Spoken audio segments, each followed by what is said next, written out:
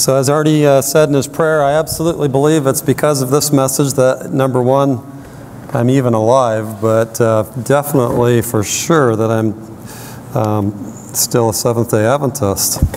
and having been raised as a Seventh day Adventist, I basically faded out of um, the church while here attending Andrews University. Uh, with my acceptance to uh, medical school at Loma Linda, I've pretty much gotten what I wanted out of it and headed off there to figure out what else was in the world. And I knew, I knew that uh, uh there was a God, but uh, I had not yet, um, in a very powerfully powerful way, experienced Him um, daily in my life. And the religion that I had was very much a uh, fear motivated, works based um, religion, and it wasn't until hearing this message that I was, uh, to a degree, set free and uh, empowered in my life and inspired um, to live my life uh, for Him. Before we begin, I'd like to just bow our heads just one more time. and Father in heaven, for the time that we have this morning, I just pray that you can speak through me. Take these words, and may your Spirit use them in each heart here to, to draw them closer to an understanding of what you would have for us as an end time people. May it transform our lives. We pray in Jesus' name. Amen. Well, this morning my goal is to review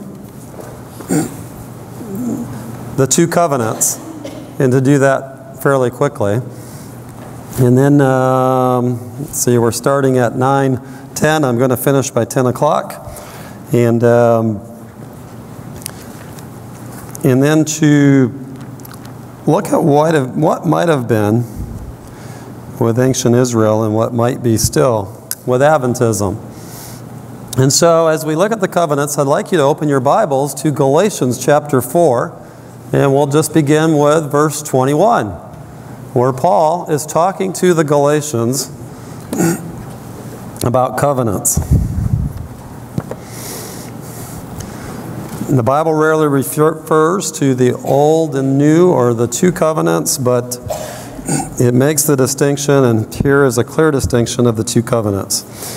And so, Paul, writing to the Galatians, says, Tell me, you who desire to be under law, do you not hear the law? Talking about the Torah. For it is written that Abraham had two sons, the one by a bondwoman, the other by a free woman. But he who was of the bondwoman was born according to the flesh, and he of the free woman through promise. Which things are symbolic? For these are the two covenants the one from Mount Sinai, which gives birth to bondage, which is Hagar. For this Hagar is Mount Sinai in Arabia and corresponds to Jerusalem, which now is, and is in bondage with her children. But the Jerusalem above is free, which is the mother of us all. Paul is talking to the Galatians who have been a group of people that were converted by the gospel. But in addition to the gospel, they felt the need to add to what God had already given them. And they were making that into a means of salvation. And so he is expounding this. So, what I want to look at briefly is um, the law that was given in Sinai. And so I want to turn back to Exodus chapter 19. And Paul states here, that this Hagar is Mount Sinai in Arabia. What happened at Mount Sinai? That's where God came down to the children of Israel. And God came down to do what? came down to speak the law. Does that mean that the law is the old covenant? And that's Hagar. And that's the one that's in bondage. And that's what we want to look at. So let's turn back over to Exodus. And we'll start in verse 19. chapter 19. And so, chapter 19 starts off uh, in verse 1 stating the third month after the children of Israel had gone out of the land of Egypt. They had been taken miraculously out of the land of Egypt. They had crossed through the sea, and they were now out in the wilderness. But this had only been for a few months, and on the third month, they're now standing at the base of a mountain and God comes down. What I want you to see in this preamble is that God did not come down with the intent of giving them an old covenant. And sometimes this is confused by evangelicals and even Seventh day Adventists that the, well, the law is the old covenant. It's the means of salvation in the Old Testament, and now we have Jesus Christ in the New. That's not what happened. Before we look any further, let's digress back to Genesis chapter 12.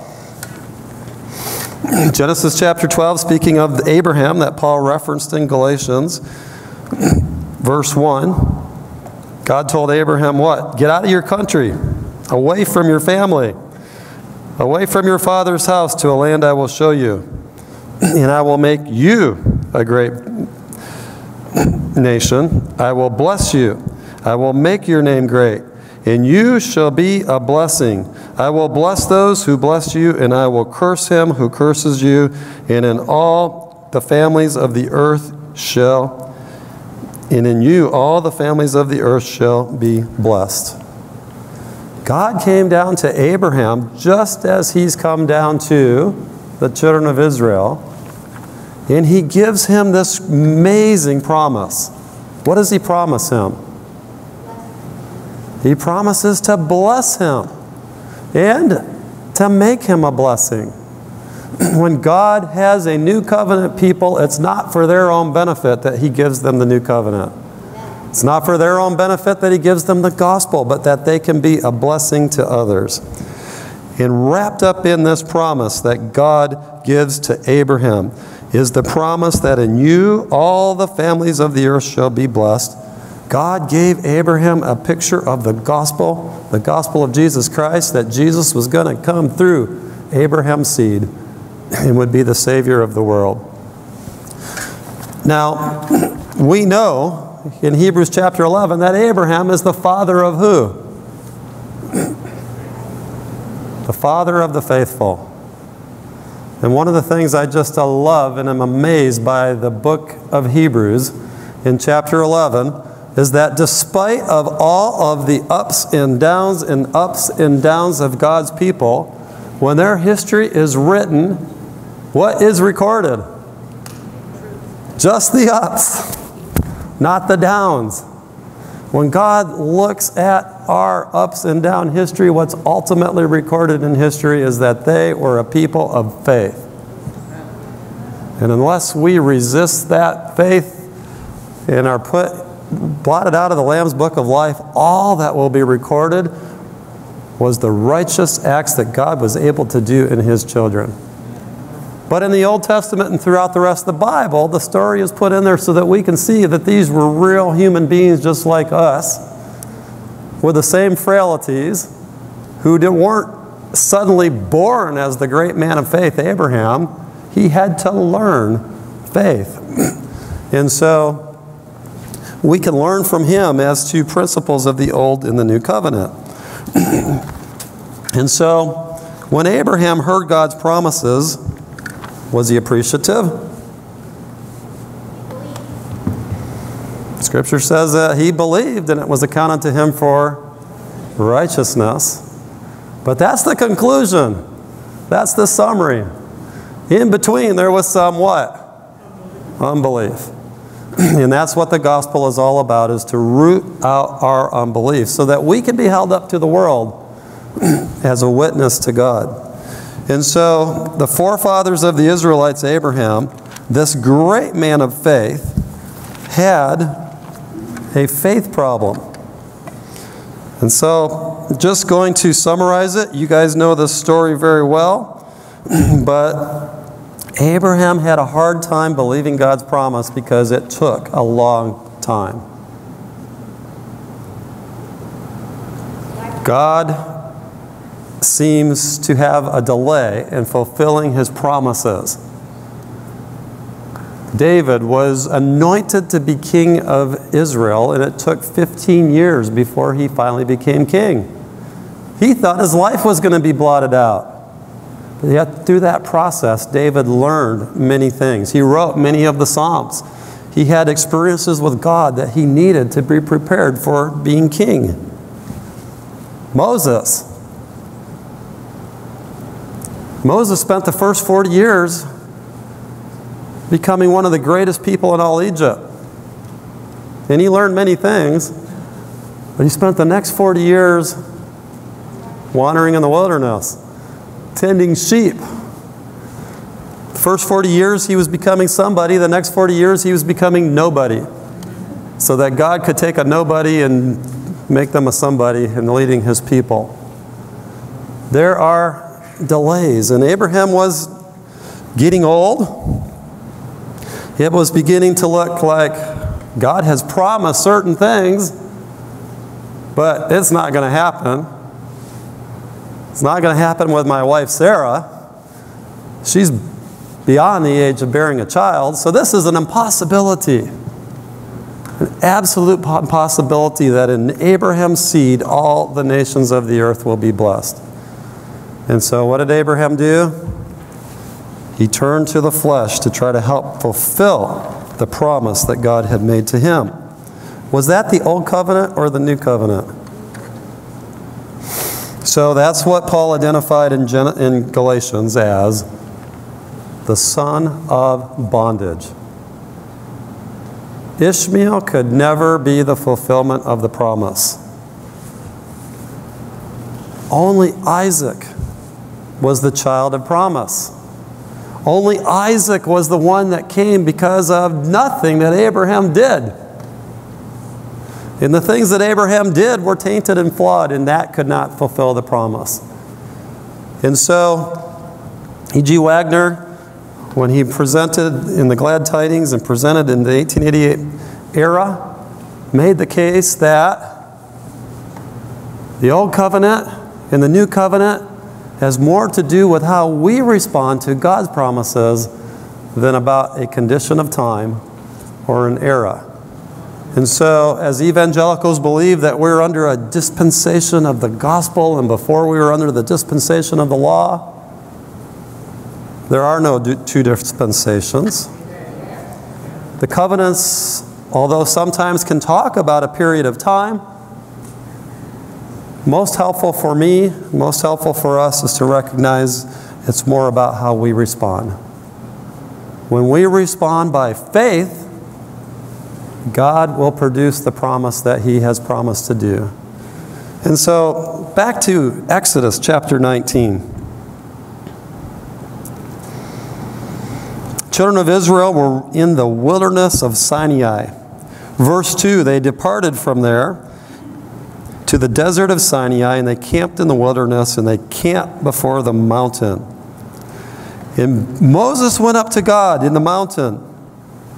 And the Lord called to him from the mountain, saying, Thus you shall say to the house of Jacob, and tell the children of Israel. What is God doing here? He's renewing the covenant, the promises that he made to Abraham. Thus you shall say, You have seen what I did to the Egyptians, and how I bore you on eagle's wings and brought you to myself. What did the Israelites do to cross the Red Sea? They were helpless. They could not possibly have gotten out of that without divine intervention. So God is just saying, This is what I've done for you. I've given you all this already. You have seen what I did. I bore you on eagle's wings, and I brought you to myself. Now, therefore, you will indeed obey my voice and keep my covenant, and you shall be a special treasure to me above all the people, for all the earth is mine. And you shall be what? You shall be a kingdom of priests. Remember that because we're going to come back and look at that. You shall be a kingdom of priests and a holy nation. These are the words which you shall speak to the children of Israel. And so Moses called for the elders and the people, and he laid before them all these words which the Lord commanded him. And all the people answered together and said, What? All that the Lord has spoken, we will do. Now, sometimes we think this is the point where the old covenant came in instead of the new. The people, God made promises to them, and they made promises to him. Um, the problem wasn't the words of the people. That's not what it is. If they truly had in their hearts a desire to say, Yes, Lord, make this so, we want to do that, that could have been a new covenant response. And the Lord talks about that in Deuteronomy 15. We don't have time to go there. But God knew what was truly in their hearts. And they were not truly converted. And they didn't know their own condition, but they're responding to God. And what is in their hearts is revealed in what happened over the next 40 days. So, before we go to that, though, the Lord said to Moses, Behold, I come to you in the thick cloud that the people may hear when I speak with you and believe you forever. So Moses told the words of the, peop- uh, of the people to the Lord. And the Lord said to Moses, Go to the people, sanctify them today and tomorrow. Let them wash their clothes. Let them be ready for the third day. For on the third day the Lord will come down upon the mount in the sight of how many? All the people. God is coming down to meet with his people. And you shall set bounds around the people, saying, Take heed to yourselves that you do not go up to the mountain or touch its base, because whoever touches the mountain will surely be put to death. So for three days, God sets them apart. God says, For three days, don't go close to the mountain because I'm coming down. And if God is coming down and they go close to the mountain but they haven't been sanctified, what would happen? They'd be destroyed by it. And so they're set apart. They're called to consecrate themselves, to wash themselves, to purify themselves, to enter in to an experience of repentance so that they can be prepared to meet with their God.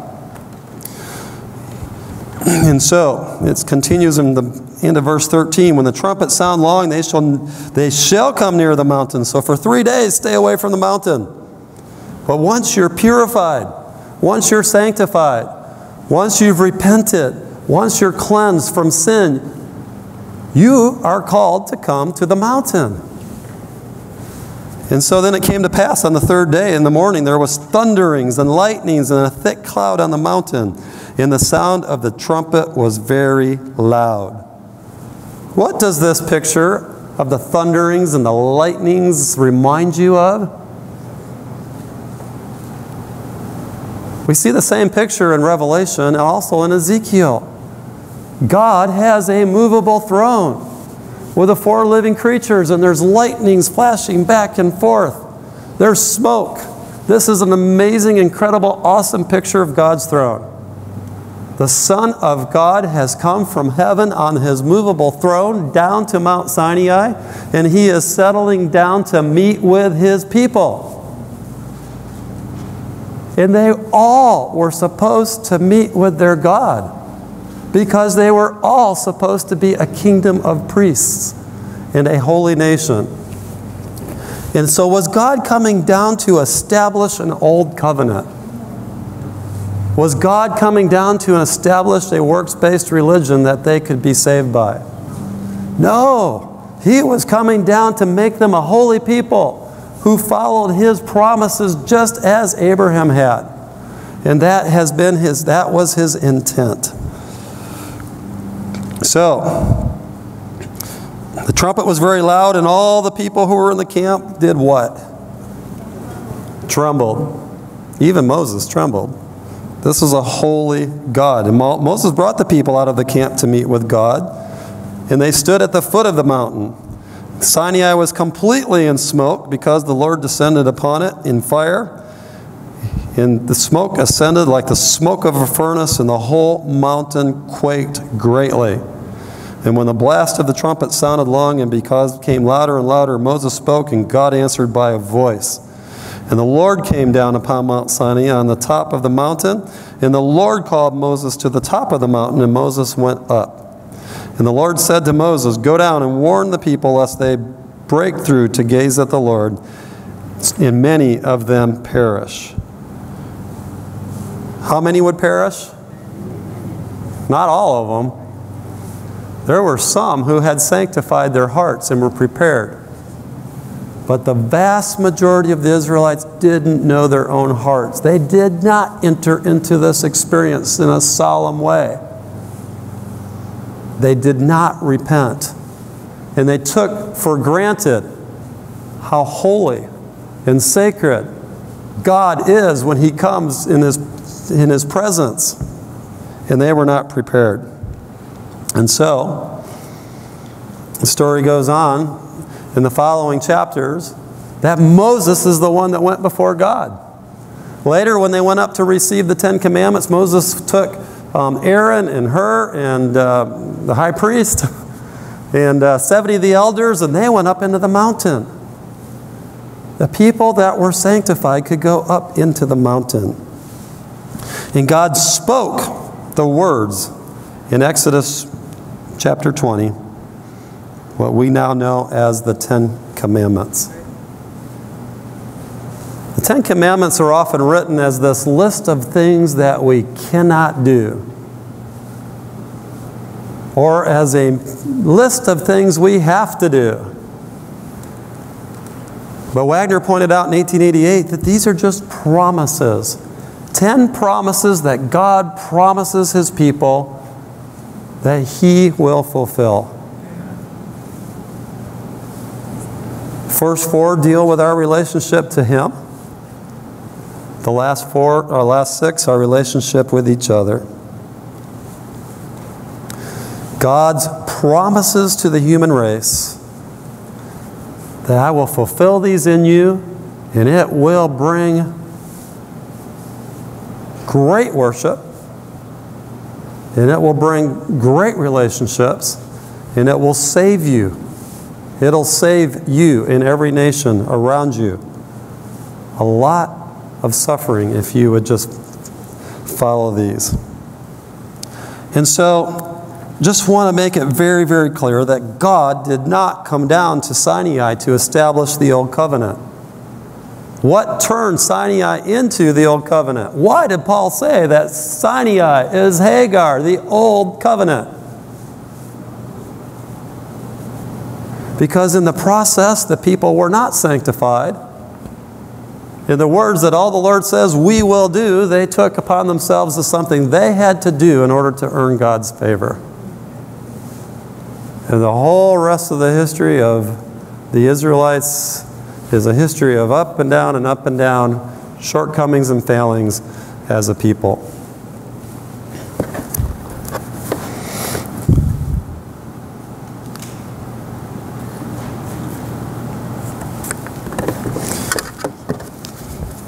I actually have notes, but I haven't seen them yet, so I'll see where I am. So, what I'd like to look at and then we'll make the extrapolation to us, is what might have happened if they had become a kingdom of priests in a holy nation. And so, before we look at that, what did they get instead? So, first of all, there was a great apostasy right at the base of the mountain. The cloud is still on the mountain. And Moses has gone up into the mountain for 40 days. And the people very quickly forget that they were just set apart, that they were just sanctified. They see that cloud, and from what they can tell, that's just going to stay there. So let's get on with life. In fact, let's not get on with life. We got to get going because we want to get to the promised land because we want the land flowing with milk and honey. They wanted what was in it for them, and they didn't want the process. much like we do. And so Moses is up there and he sends Aaron and Hur down and uh, to lead the people. He sends the 70 elders down. Joshua stays up there with him. And of course, Moses goes in and meets with God and he's given the law. And when he comes back down to the camp, what does he find? He finds pagan worship going on in the camp of God's holy people.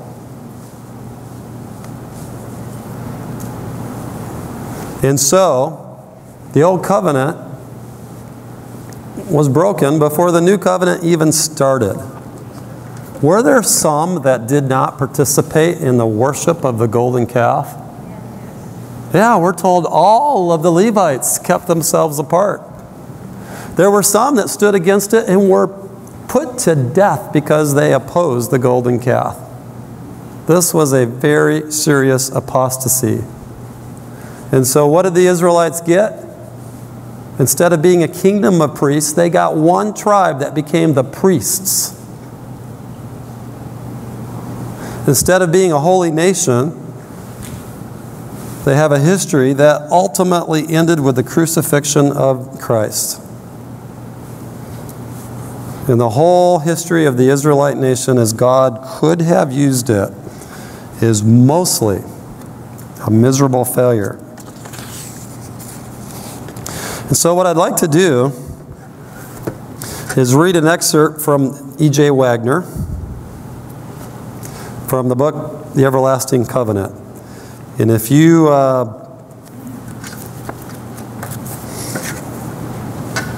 would like to find a really good book on the covenants, I'd recommend the uh, Glad Tidings, but especially the Everlasting Covenant. So, two books that have really blessed me from the 1888 era on the covenants is Ellet J. Waggoner's book, The Everlasting Covenant. And recently, Dr. Skip MacCarty, who was a pastor here, now retired, wrote a book called In Granite and Ingrained. And as a member of the Gospel Study Group, we had the opportunity to serve as the editorial committee of that book. And I would also state that that book is, of all the books written in recent times, is, is the most gospel centered, encapsulating the covenant um, idea of any book that I've read. And so I'd encourage you to read both of these books. So there's a chapter in this book on page 269 where Dr. Waggoner um, entitled it Israel, a Missionary People.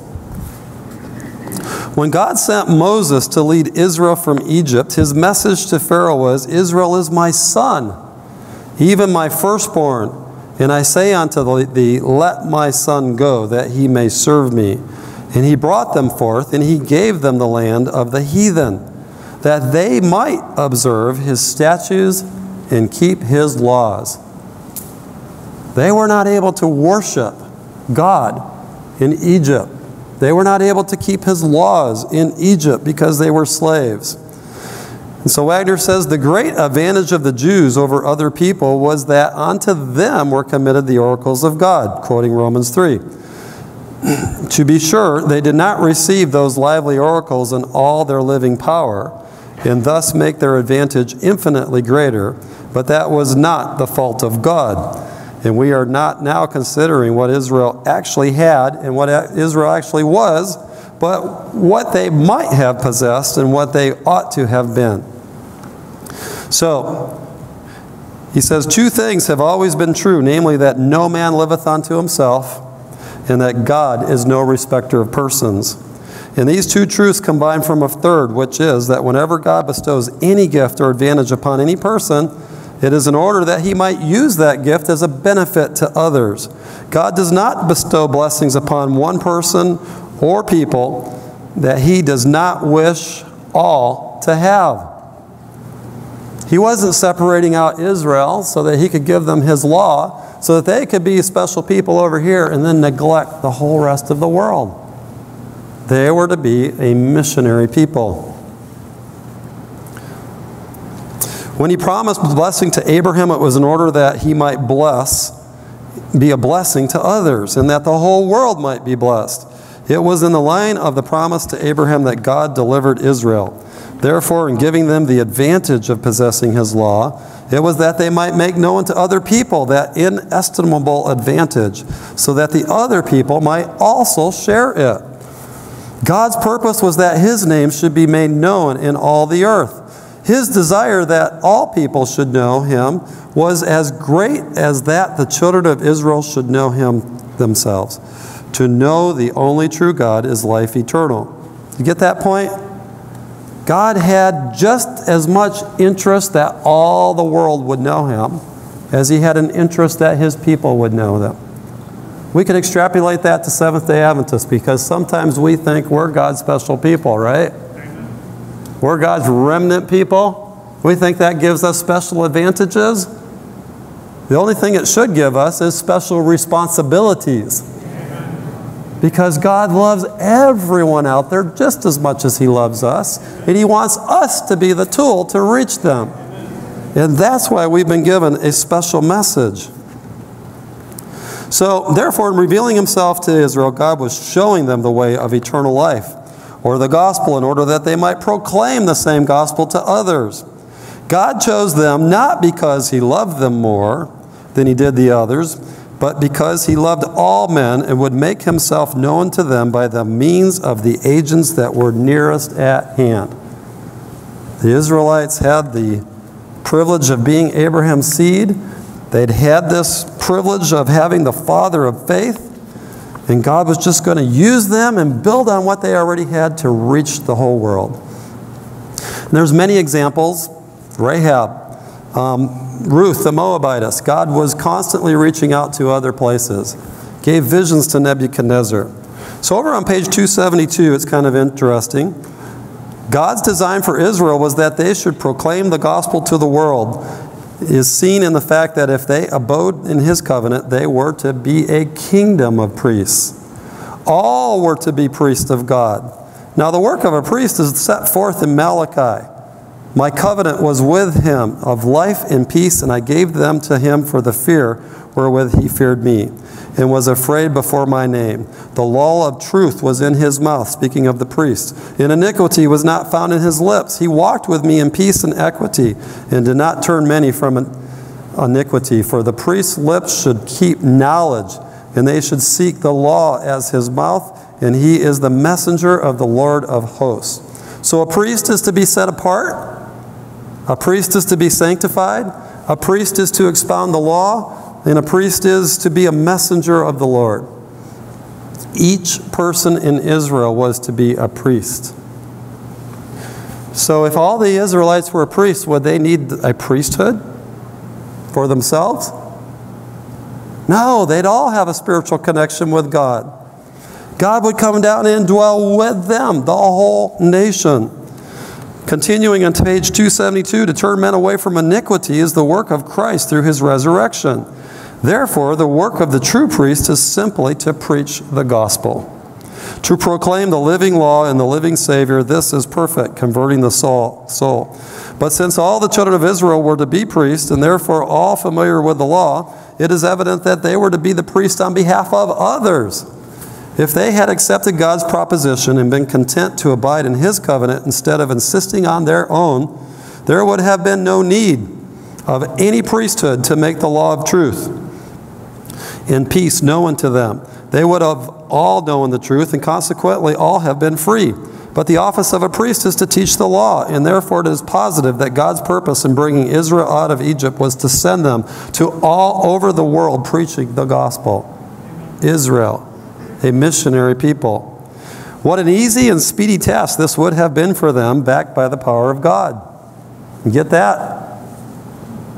How many years has it taken us so far to preach the gospel around the world? Waggoner says this is an easy and speedy task, backed by the power of God. Here's why. The fame of what God had done in Egypt had, been, had already preceded them. And as they went forth with the same power, they could preach the gospel in its fullness to people already prepared to accept or reject it. Our goal is not to go out there and find people that are rejecting the gospel and try to convince them that they shouldn't do it.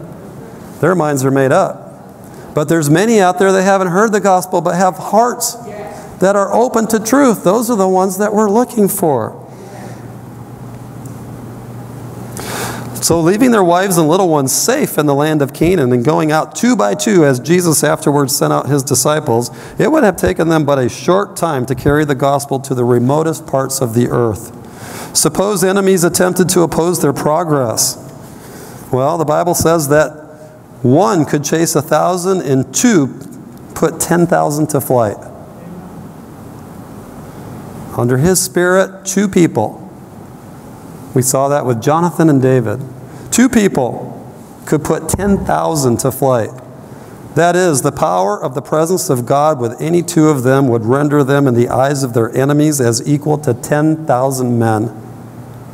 And none would dare attack them, so they could go about their appointed work of preaching the gospel without fear of molestation.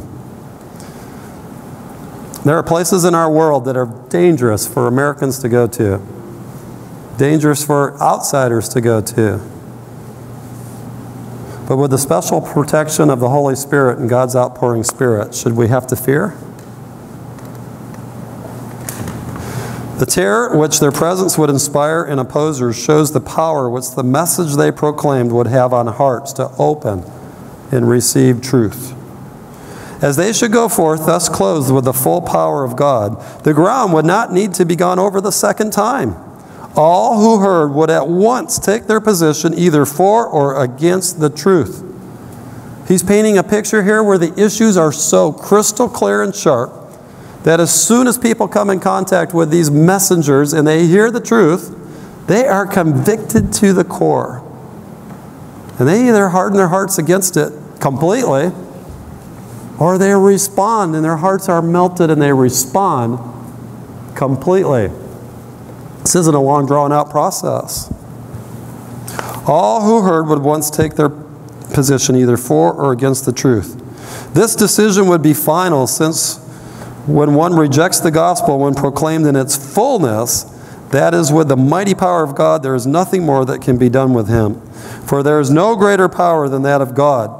So, a very few years and even possibly a few months after crossing into the Jordan, would have sufficed for the preaching of the gospel of the kingdom in all the world as a witness to the nations. But Israel did not fulfill its high calling. Unbelief and self trust deprived them of the prestige which, with which they entered the promised land.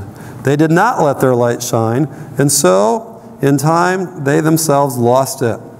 They were content instead to colonize Israel Instead of possessing the whole earth, they assumed that the light which God had given them was due to the fact that He loved them better than the others. And so they became haughty and wound up becoming despised by the others. Nevertheless, God ceased not to indicate to them that they were to be the light of the world. The history of the Jews, instead of showing that God was shut up to them, shows that He was continually trying to use them. They were to be a separate people, separate solely because of the sanctifying presence of God. And in being a separate people, he tells how they were to draw others in to join them, but they weren't to join others. They were a separate, sanctified, set apart, holy people. We have just a few minutes remaining. Let me read from uh, Patriarchs and Prophets, page 314. Ellen White states that from a race of slaves, the Israelites had been exalted above all peoples to be the peculiar treasure of the King of Kings. God had separated them from the world that He might commit to them a sacred trust. He had made them the depositories of His law and he purposed through them to, pressure, to preserve among men the knowledge of himself, to preserve among men, the rest of the world, a knowledge of himself. Thus, the light of heaven was to shine out to a world enshrouded in darkness, and a voice was to be heard appealing to all peoples to turn from their idolatry, to serve the living God. If the Israelites would be true to their trust, they would become a power in the world. God would be their defense, and he would exalt them above all other nations. His light and truth would be revealed through them, and they would stand forth under his wise and holy rule as an example of the superiority of his worship over every other form of idolatry. We live in a world today, it's essentially a world of idolatry. Now, I'm happy, thrilled that I grew up in America. Not everyone here is an American, but most of you are. There's one Australian I know, and several others. But growing up in America gave us a heritage that lets America stand as a light to the rest of the world. America, more than any other country, took the principles of the Protestant Reformation and put those to work. And Jerry mentioned that last night. And it has been a huge blessing. By having these principles, most of them derived from biblical principles, it gave America immense standing in the world. Great blessings. Ellen White states that as time goes on, we will repudiate every principle of our Constitution. And this great nation that started off like the lamb looking like Christ is going to turn into the dragon looking like Satan. And this past year, I've been thinking about the fact that, you know what? We still think it's a pretty good country, and it's still an amazing country. But when you look around us, we are being bombarded by messages that are completely contrary to the gospel everywhere we turn, like never before. And it's becoming the majority. Um, it, not too many places we need to look. One of Satan's greatest tactics is to bring in um, Darwin's theory of evolution in 1859 when he wrote the book The Descent of Man. That was to counteract Romans 120, which states that God's invisible attributes are clearly seen in his creation. If God's invisible attributes are clearly seen so that every single person is without excuse, Satan wants to do something great to counteract that. And he's done that by taking the focus away from the Creator with this crazy theory of evolution. And uh, Bob has encouraged me these last couple of years to realize how evolutionary thought slips in even subtly into our thinking. And so it's just very simple to say, well, um, I worked on this model this year, but this one's better this next year, and so it's evolving. Lindy might ask me, how's my talk going? I said, well, I could say, it's evolving. Our whole culture knows what that means, right? Except it doesn't mean what we think it means. It's absurd. We're using it in the completely wrong way. Because we're using it in a way that assumes that because we say it's evolving, it's getting better and better and better. But if we're truly evolutionists, it would have to get better and better and better on its own over many periods of time. And so I put in heart stents. We have a heart valve. It's called the Evolut. It's the third generation. So we have the Evolut R, and now we have the Evolut Pro. And I was meeting with the vice president of the company and the vice president for research, and they said, What do you think of our stent? I said, Well, I like your stamp very much, except for the name. And they said, What do you mean? Bob has challenged me, and I'm trying to take this all out. I'm trying to take these little words out of my vocabulary. I'm trying no longer to say, I bet you that you'll do this tomorrow, because I don't want gambling language. I'm trying to get evolution out of my vocabulary. It's just so ingrained in every single thing we do. Tell them, I don't like your stent, or the name of your stent. And they said, Why? And I said, Well, let me ask you about it. What does evolute mean? It means it's evolving. The evolutionary idea of evolving is that you guys put it in a box and you just shook it for a long time and it came out a little bit different, but why don't you ask your scientists how many hours did they put into this? How much research dollars did you spend? How many research trials did you do testing it on people? This took a lot of creative talent and a lot of creative work. You should call it create. the vice president looked at me and said, Yeah, you've got a point. But the point is, these things creep in everywhere. Our music, our media, Kids in school are taught that if you want to find out what sex you are, you should trust your feelings over science. Everything is up in flux. Even in theology.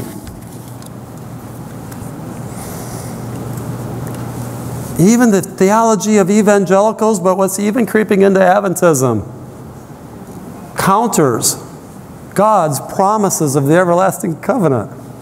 Uh oh, Andy says I'm done. Just a few examples, real quick. So, when you die, you go to heaven, right? Sinners go to hell. But Isaiah 33 says it's actually the righteous that dwell in the everlasting fire. Satan has taken every single thing in our culture and turned it completely upside down so it points away from God. In the whole wrong picture theologically. I have a whole list here, I don't have time to go into it. So let's flip over to chapter you guys all know, Revelation chapter 14. Is God still going to have a kingdom of priests? Is he still going to have a people who he can write his law on their hearts so that it becomes natural to do his laws? Is this something we're going to do by conjuring up enough willpower so that we can look good? I'm tired of that. I was raised on that kind of Adventism. It's powerless, and it leaves you feeling empty and discouraged. There has to be a countercultural demonstration to the world that's no longer rhetorical but is demonstrated. Because our postmodern culture won't accept it that it comes out of the Bible. They want to see it demonstrated. But they're open to a demonstration. And God promises in Revelation 14 he looked, and behold, a lamb standing on the Mount of Zion, and with him were 144,000, having their father's names written on their foreheads. Let me close with just a story. So, as a result of being a part of the Adventist Medical Evangelism Network, I've been encouraged over the last 14 years to find a way to engage my patients in a spiritual conversation. And like what Patty shared this morning, I do not believe that there's any power to overcome smoking unless I give them the power of Jesus in their lives. And so I want to point every one of my patients to the only power to make real change. And I believe that if they respond to that power, whether it be to change their diet, to stop smoking, it's still the same gospel message that they're responding to. And that same principle carried further and further and further is the gospel, the power to make changes in people's lives. And so I always offer, when I see my patients, at the end, I always conclude by saying, by the way, one of the things I offer to do is have a prayer. Is that something that you'd appreciate? And a patient of mine, I'll call him Ron, he's actually an very accomplished, well known, influential and prosperous home builder in our area. The biggest homes in our home in our region, everybody would know they're built by this guy. He's 84, 80, 83 or 84 years old. And I said, oh, by the way, Ron, one of the things I offer to do is have a prayer. And he turned at me and he smiles. Said, Dr. Schwartz, we've gone over this before. Remember, I'm an atheist. And I try not to keep praying with the atheists because I don't want to alienate them. But somehow I just forgot. I didn't note, I didn't note the NP in my chart, and I just made my usual offer. He said, Dr. Schwartz, I'm an atheist. I'm like, oh, yeah, yeah, Ron, I'm sorry. I don't, I don't mean to impose anything on you. And said, all right, well, we'll see you back. He says, well, I'll tell you what, you're going to pray for a minute or two. Can I ask you a question? And I said, well, sure. And he says, well, can you answer to me why are the evangelicals so behind Donald Trump? He says, if he hasn't broken six, if he hasn't broken all ten commandments, he's broken at least six. And I don't get why they line up with somebody like him. Now, I don't care to debate Donald Trump and all of his policies and that. But I said, Ron, this is more than a two minute question. He goes, oh, okay, I'm sorry. I said, no, I'll answer it. So I had, I said, but I'm going to sit back down and we're going to talk about this. And so this is an atheist. And I said, Ron, the reason is, is because most Christians have become just like the Jews in Christ's day. They're not looking for a heavenly kingdom. They're looking for power here on this earth, and they want it now. And they are willing to sacrifice all of their values about character and adultery and gambling and all these things that we can list as long as they get power.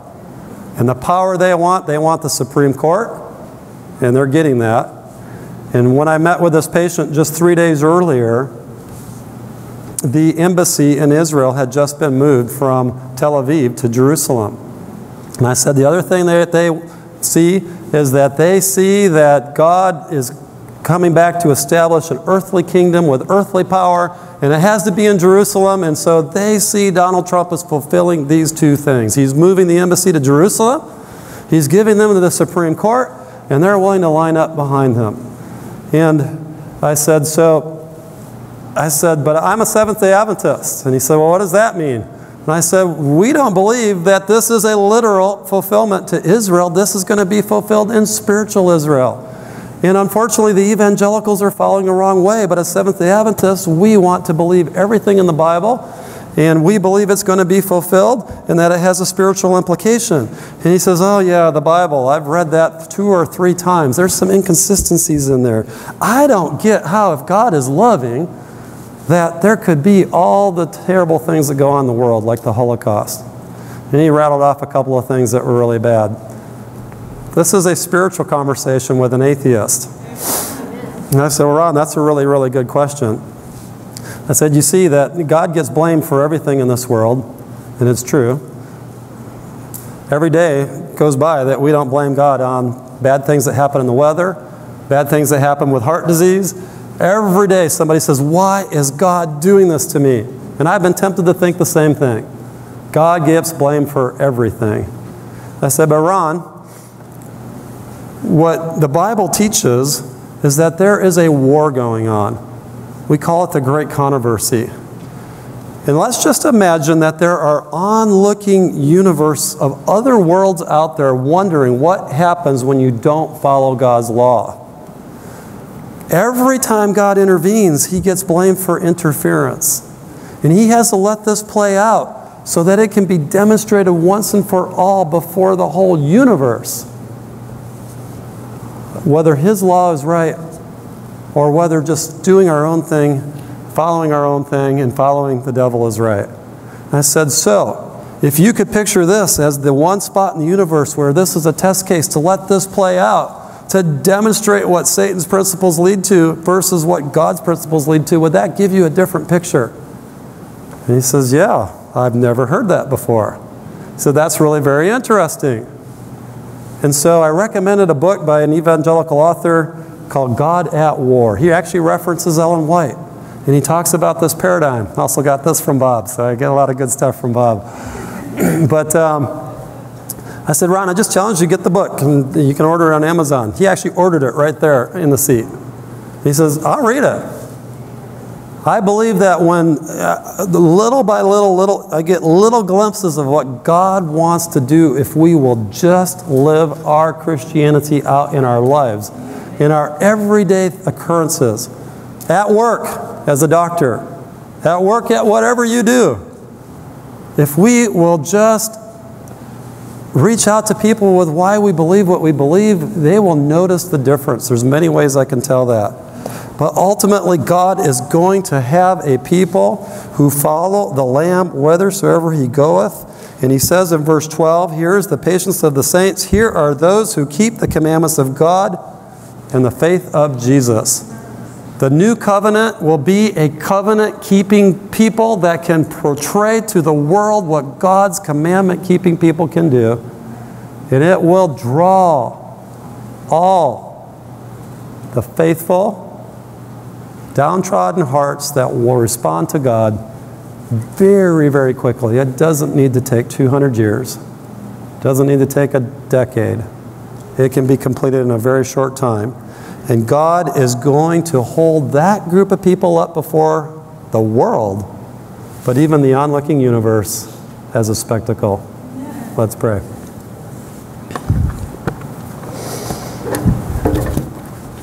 Father in heaven, as we reflect on the failures of Israel, I'm reminded that we, as the Seventh day Adventist Church, have our own failures. We have been here for five generations wandering in the wilderness while you continue to call us, to woo us, not because we are better than anyone else in this world, not because you love us more, but because we have been entrusted with a very special message that gives us a jump start on giving it to the whole world. And so, Lord, I just pray that we will stop following our own heart's inclinations and allow you to do the work in us to cleanse us, to prepare us to be ready to stand as that final demonstration before the onlooking universe and to our world. May it begin with us, I pray in Jesus' name. Amen.